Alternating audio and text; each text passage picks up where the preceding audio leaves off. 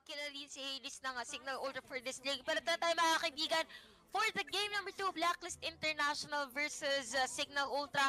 On to our red side, yan ang Blacklist International. Edward ang gagamit na si Lena. Killer naman for this time, si Dexter with a high loss. Hellkirk ang gagamitin ni Kyrie and Aqua para sa kanyang Lilia. Dito naman sa Signal Ultra sa blue side, Hades for the Ling, uh, Chujin sa kanyang Esmeralda, Blank naman sa Kufra, Rhea para sa kanyang Atlas, at Imba DJ for the Estes. Pero tiga mo naman yung buhay ni Imba DJ ngayon, mukhang nasaktan dun sa mga binigay na damage ng tropa. Pero napakaganda nga nung skin niya dito, ha. Nako po. So, uh, dun sa mga hindi pa bumibili, eh, bumili na kayo ng uh, skin nila ano ni Masha tsaka ni ano ni Estes kasi magka-tropa yan. Parang Diba? ano no, si Estes kamukha niya si Invoker na best. Wala lang, totoo. napansin ko lang magkamukha Totoo. sila. Pero is kita natin dito for Blacklist International, napakaganda Oo. ginawa nila, nagawa nila ng buff dito si Hades. Patay And the first blood, mga kaibigan, para sa hyper carry ng Signal Ultra. Although, si Rhea dito mag-flicker out at 5 man pala ang ginagawa dito ng Blacklist Ooh. International para sa ating laro. Pero ito na nga mga kaibigan, si Blank halos wala na rin buhay and disengage for Blacklist International. Maganda, napaganda pa nga yung pagkuha nila ng Lido Wanderer. So ayun talaga yung kailangang hindi nila kalimutan na may Lido Wanderer doon. Kung dahil kung walang Lido Wanderer na dala si Esmeralda, possible patay na yung mga players doon ng Signal Ultra. So yun yung nagiging ano talaga ako. Bago kayo rotate, bago kayo kumuha ng objectives, bago kayo mag-invade, eh kuhanin nyo muna yung Oo. Lido Wanderer o aka ano tawag nila dyan, Bal- Bar- Bul- Balbasor. Bulbasaur. Akin Saka, Bulbasaur, si Ano ba Bulbasaur. yun? Repolyo, Basta marami silang iba, Yeah, Repolyo. Yeah, Repolyo. Parang nga naman ganun yung uh, tawag sa kanila. Ito, ito, ano tawag nga ni Nanay Gaming sa ganyan? Basta Ano may tawag din si? Nanay Gaming sa ganyan eh, Oo. para ano, para daw meron silang bodyguard. Pero hindi sila kinuha ng ating score si Oh. Black Knight dito sa may middle lane side. And another kill for Blacklist International sa ating laro. Ito na nga yung ano yung ah, ginagawa ng Blacklist International. Alam kasi nila na kailing lang lahat pwedeng mapunta yung mga buffs. So uh, for si Blacklist International, minamaximize nila yung pagkuha ng mga heroes dito. Tinamaan ng Abyssal Arrow dito si Rhea. Pero ops, mga kaibigan, four-man gank dun sa top lane. Talaga naman, ang uh, damage na kaya nilang ibigay, eh, grabe issues. Tapos Oo. meron pang Dark Knight Falls. Alam mo, No. best dito for, ano, for us, um, Blacklist International, ang pinaka kailangan nilang ingatan dito is yung magkaroon ng opportunity si Hades na makakuha nung uh, buff niya. Kasi Mhm. naging effective yun, I mean, na- naka-early 0-3 sila dito sa ating laro.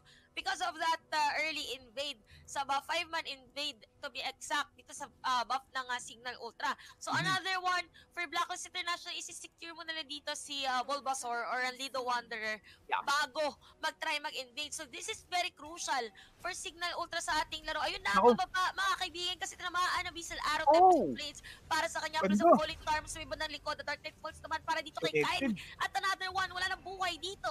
Chujin is down. Mga kaibigan, bouncing ball para sa Kufra. And a double kill for Lilia Rhea. Wala na rin buhay. Naku! This is Atlas. Tumatakbo para sa kanyang buhay. Oh! 4-3! Edward 4-3 tinamaan ng Abyssal Arrow at napatay niya pa yung tumatakbong players dito ng Signal Ultra. Hades na lang ang buhay. For this one, hindi pa makokontest yung ano, yung uh, Cryo Turtle plus lahat ng objectives it tinatry ng kuwanin or kinuha na nga ng Blacklist International dito. Para sa akin, best, yung Lilia pick ng Blacklist International, goods. Talagang okay yung Oo. Lilia pick.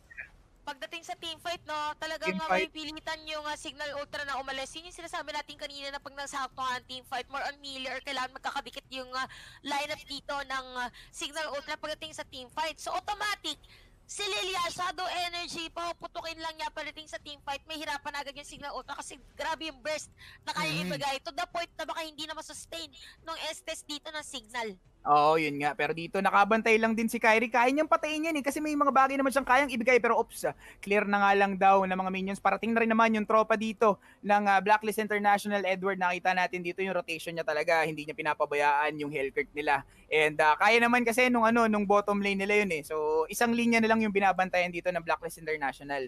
Yung top Oo. lane na lang. Tapos after nun, pag nakakuha sila ng objectives dyan, pwede na silang, pwede na nun tulungan yung bottom lane or mag-push sila sa mid lane dito. Pero malaking bagay talaga yung uh, nakukuha nila yung mga, ano dito, Lilia and especially Hellkirk. So, goods yan para sa Grabe, kanila. oh, power lock lang dito para kay uh, Aqua. And uh, turret has been destroyed here by Blacklist International. Talagang objective lang dito for uh, this team. At uh, kung i-compare natin noon uh, game number 1, napakabilis ng rotation guys ng uh, Blacklist International. Kasi kung mapapansin natin, mabubuhay pa lang ulit or literal na naorasan na another one, the Darknet Falls and a killing spree pa. Kaso mahuhuli si Kyrie dito, a shutdown for Imba DJ sa ating laro. Pero Nako si Destar very aggressive sa may badalikod, mahuhuli dito si Oh, Aqua. Pero Nako po, hindi matutuloy dito ang gusto nang gawin or basta mababalak pero fatal links but the Tyrant's Rage dito and a shutdown for the Kufra.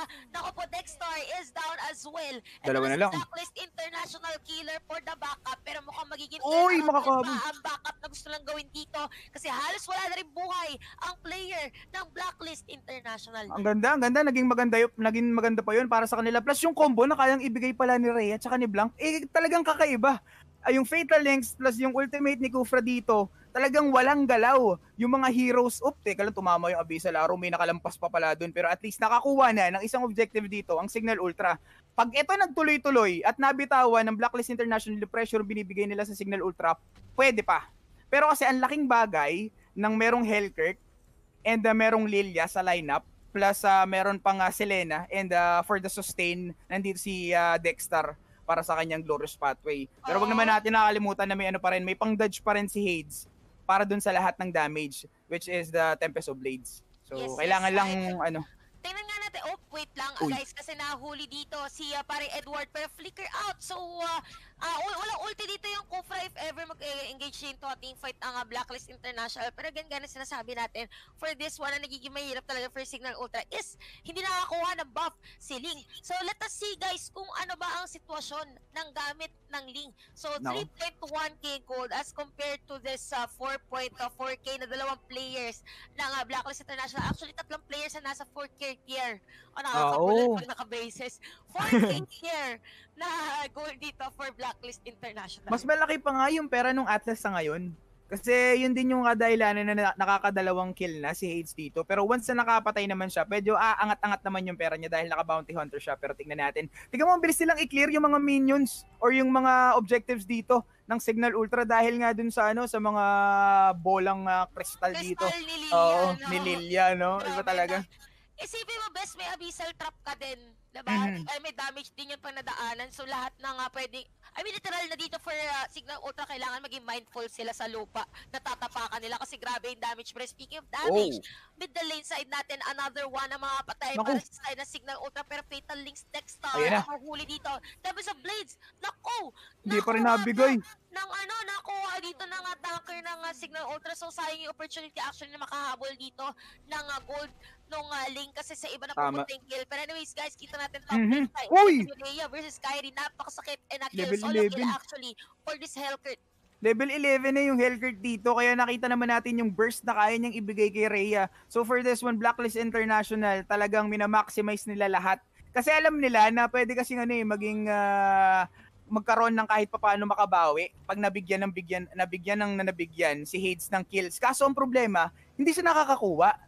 Dahil gusto nilang i-secure yung kill eh, 'di ba? Gusto nilang i-secure sa ngayon kasi nandun pa yung pressure na gusto talaga nilang kuhanin yung kill. Ang problema, hindi napupunta kay Hades. Napupunta dun sa mga tanks. Kaya yun yung parang nagiging, teka, parang mali na to ah.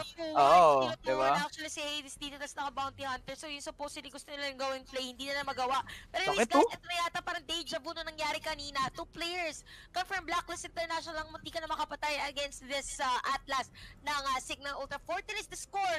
Almost 9 minutes in third game time. For Blacklist International, napakaganda ng hero composition nila talaga. Napakabilis ng clear, Sobra. napakabilis ng objective, at ang sobrang bilis mag-burst. Tapos hindi mo pa makikita kung saan manggagaling. Yun din yung medyo may hirapan dito. Pero katulad sinabi mo, best, medyo sugal kasi for Signal Ultra kasi ling lang yung possible damage nila. Yes, si Chujin meron din naman damage, pero hindi pa ganun kalakas para mapatay or makakill sila dito. Dahil merong ano eh, teka lang, eto nga, nabigyan na mga kaibigan, uy, Fatal Links, nag-connect, plus nasalya pa yung tatlo sa mga players, pero Edward, nakawala Abyssal Arrow, na ibigay Tempest of Blades naman para sa kanila, pero hindi pa rin napapatay dito yung SS, mga kaibigan, Rhea na lang natitira, at mukhang matatalbugan pa siya dito, at nababatuhan ng kulay violet na quick-quick, mga kaibigan, ha? So, naging maganda pa yun for the Blacklist International. Awit nga yung ano, awit yung violet na kwek-kwek. Pero kita nyo guys, sobrang sakit din. Basta Hellkurt, hindi na talaga, Sobra. hindi na kinaya dito ng uh, S-test ng Signal Ultra. The sustain was there, pero grabe yung damage. na binabato ng Blacklist International. Mhm. Inhibitor turret is down for the side of Signal Ultra. We have one man defending their base. And this is Rhea while Blacklist International will take this game number two. Two, two, two. Sabi two. sa'yo, game 3 eh.